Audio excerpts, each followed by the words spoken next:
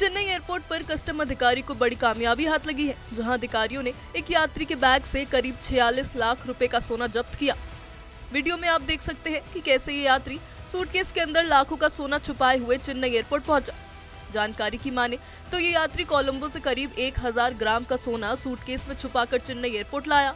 हालाँकि कस्टम विभाग ने इस यात्री की सारी होशियारी निकाल दी। एयरपोर्ट पर ही कस्टम अधिकारी ने यात्री समेत उसका सूटकेस दबोच लिया और उसको हिरासत में भी ले लिया।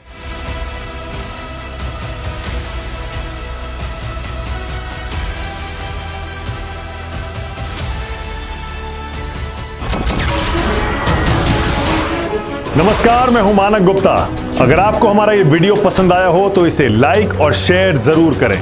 और हाँ, हमें सब्सक्राइब और फॉलो करना ना भूलें। ताकि आप देश और दुनिया की कोई खबर मिस ना करें। तो जुड़े रहिए हमारे साथ और देखते रहिए न्यूज़ 24